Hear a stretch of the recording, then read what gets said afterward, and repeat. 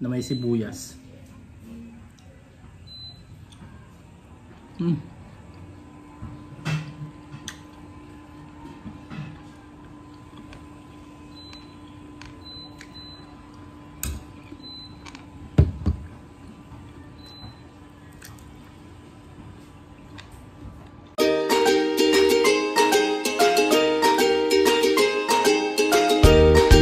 Hello, hello mga ka-trip. Good afternoon.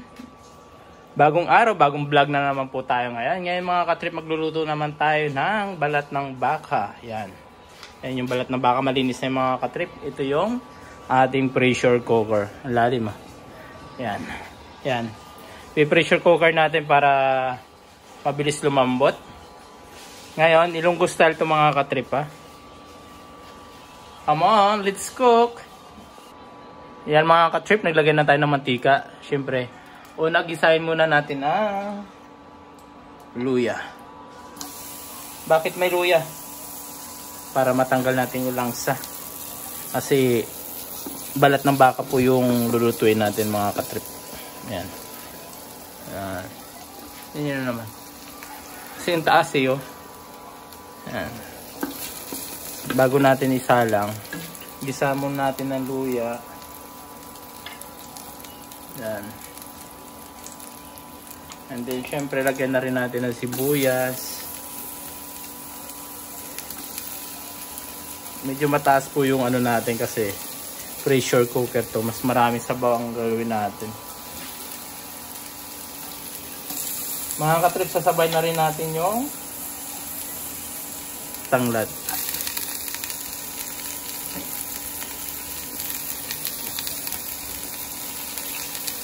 Yun yung ugat ng tanglad.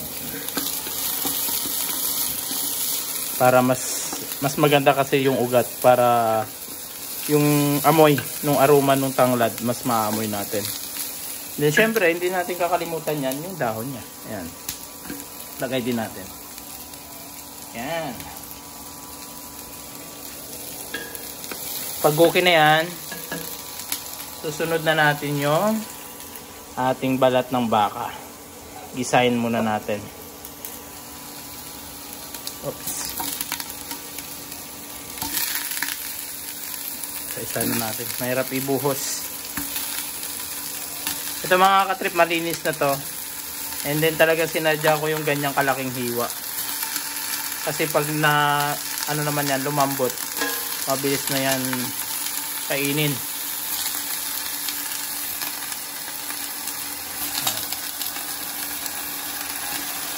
Wow, wow, wee. Ah, naamoy ko na. Ang bango nung tanglad talaga. Saka maganda yung tanglad sa ganito. Kasi natatanggal niya yung tag dito. Yung amoy. Inaan muna natin. At lumalaban ng ating mantika.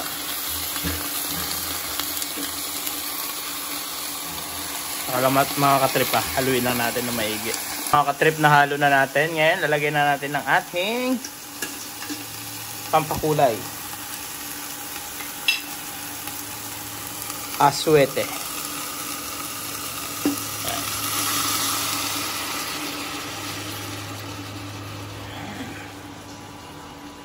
Mahirap talaga pag solo flight tayo. Ayan o. Sweet yan mga katrip.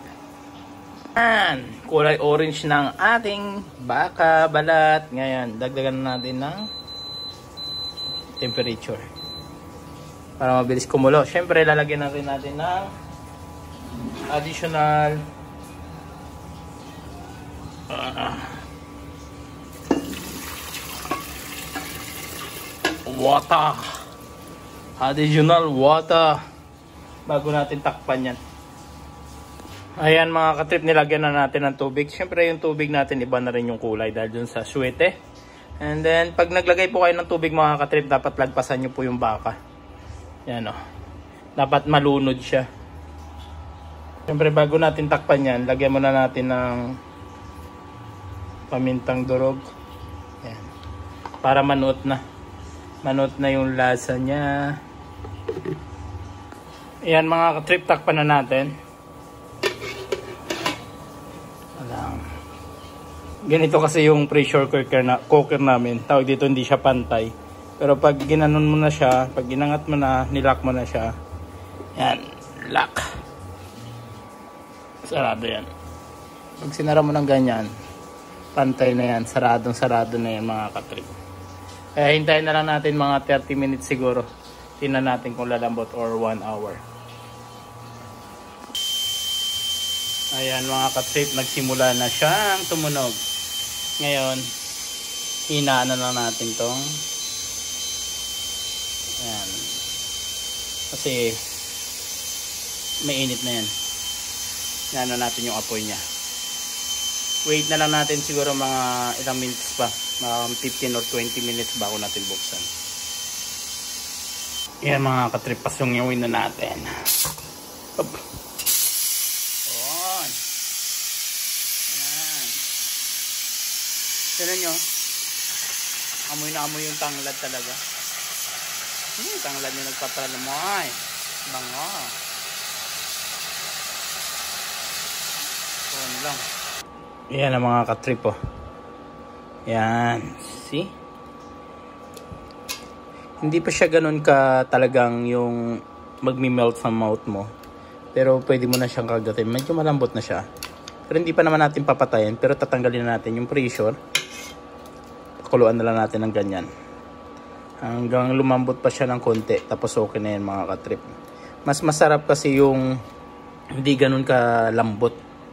Kasi pag sobrang lambot naman, nakakaumay. So okay na yung ganyan. At least makakagat. Yan. Kasi hindi. Basta na, nakakagat na siya. Ta, pwede na siyang, ano, na siya yung parang uh, chewing gum. Yan, wait na natin ng konti. Then, tanggal natin. Wait na natin, timpla natin mga katrip. Nang sili mga katrip. Yan. Yan. Dapat ito eh. Uh, meron pa Pero wala natin kukuha pa dito. Tapos sana. Yung buwan sa parte wala tayo kuha. Ngayon, kukuha lang natin sinigang mix. Yan, budburan lang natin ng kunting sinigang mix. Hindi lang sobrang dami kasi pag maramihan natin yan mga katrip, sinigang na ang labas niyan. Nitong ano na to, yung recipe natin, kunting asim lang yan. Yan. Tapos lang ka sana yung gulay nito. Dahil wala, pure gulay na. Pure ano na lang siya. Pure na balat ng baka. Yan mga katrip, lagyan ng natin ng konting chili powder. Para may kagat naman yung sabaw natin. Kunti lang. Yan. Siyempre, lagyan na rin natin ng seasoning. Ang balasa.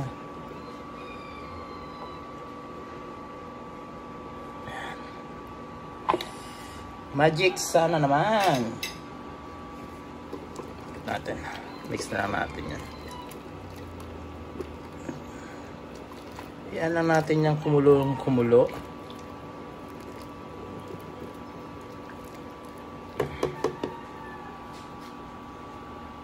Yan mga katrip, takpan muna natin. Hintayin natin na may kunting lapot. Ito naman yung rice ko, ano natin tawag dito, yung pressure cooker natin. Pwede natin ng takpan ng transparent. Yan siya. Kasi isang takip ito. Yan. Na, hindi na natin tatakip to kasi pang pressure to. Ito yung transparent. Kunyari may papakuluan ka lang. Yan ang gamit natin mga katrip. And syempre tinikman na rin natin uh, yung asim niya, hindi siya ganun kaasim kasi sinigang na yon. Yung pagtikim mo, hindi mo kagad mararamdaman na sinigang, may kunting asim lang talaga siya. Dapat ko kontrolin lang. Kaya nilalagay dito bat 1 kasi hindi siya ganun ka ano, yung gulay ano kasi yun eh, parang ano ng puno, bunga. Tapos meron din mga yung dahon, yun ang mga mas magaganda eh. Kasi nakokontrol yung asim. Pero okay na rin yan. Wow. Yan, malapit na yan. Natin silipin natin ng konti. Oh, yeah.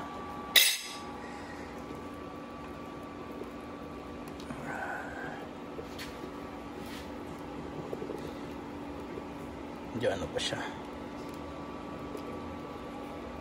Aray, init. Ito na lang yung tong. Yan. Ito nga. Ayan, nasusugat na siya ng tong. Ibig sabihin, malambot na siya. Kayang-kaya na siyang sugatin.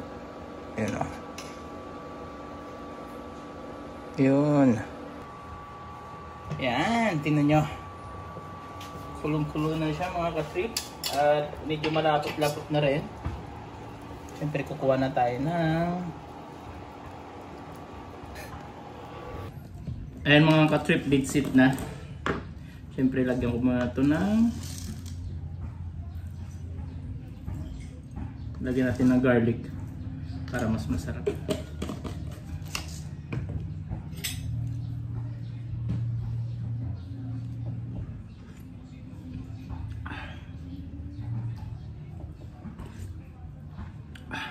Spicy, spicy. Sabaw pa lang mga katrip panalo na. Tipid ka na dito kasi balat ng baka. Tapos sili. Ah. Para na ako magmumukbang nito. Tama na.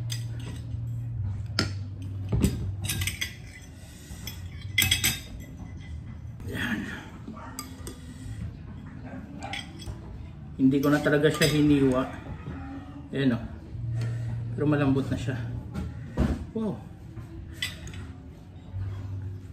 Sabaw. Yan, come on, let's eat.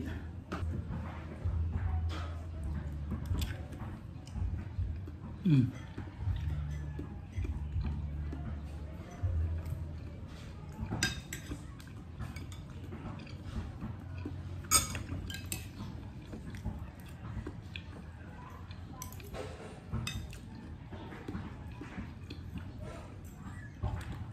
Tigas pa naman. May sibuyas. Mm.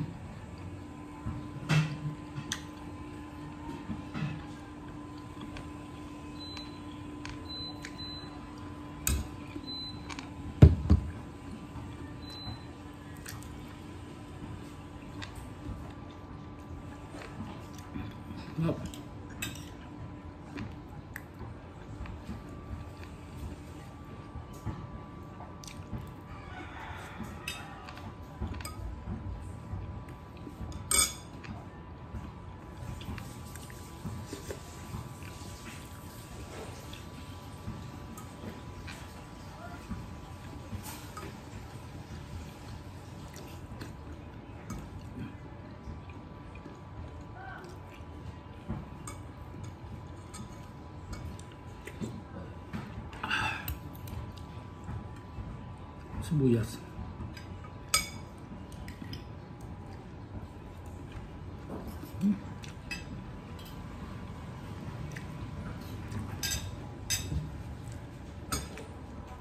Kung may bagoong kayo mga katrip, sarap.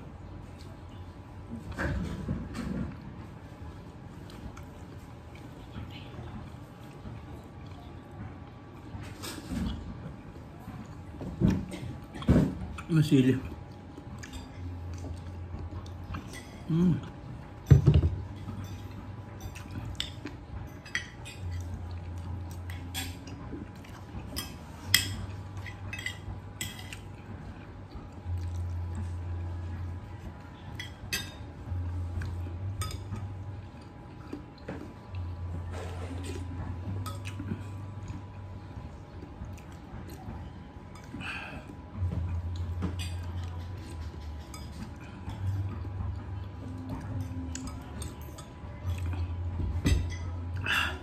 Parang mukbang na to.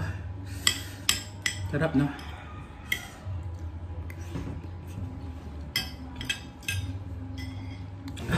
Yan, sobrang anghang. Uh. Parang sarap. Mm. Kaya mga kabib, sabay na kayo, kumain na kayo. Mukbang tayo ng balat ng baka. Mm.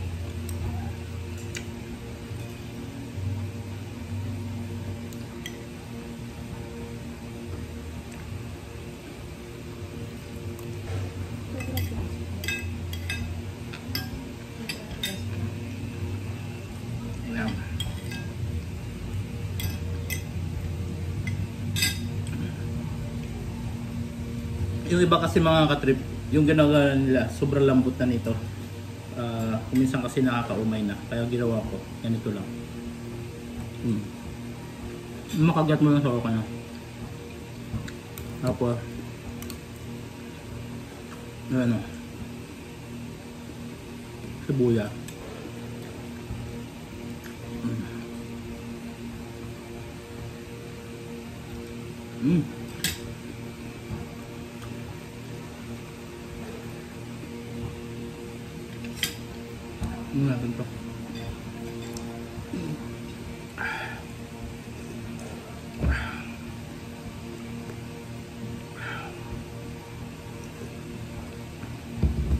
Panalo.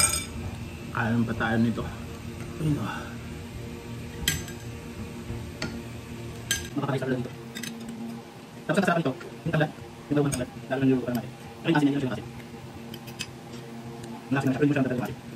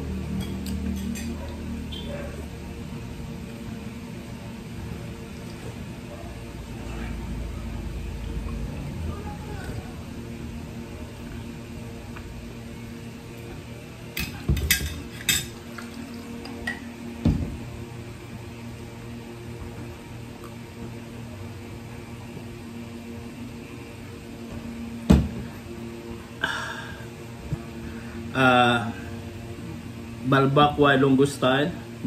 Yan mga katrip, maraming maraming salamat po sa panonood and huwag niyo kalimutan po mag-like, share, and subscribe and click the notification bell para lagi po kayo updated. Thank you so much and God bless po sa lahat. Luto na kayo ng balat ng baka. Thank you so much. Bye-bye.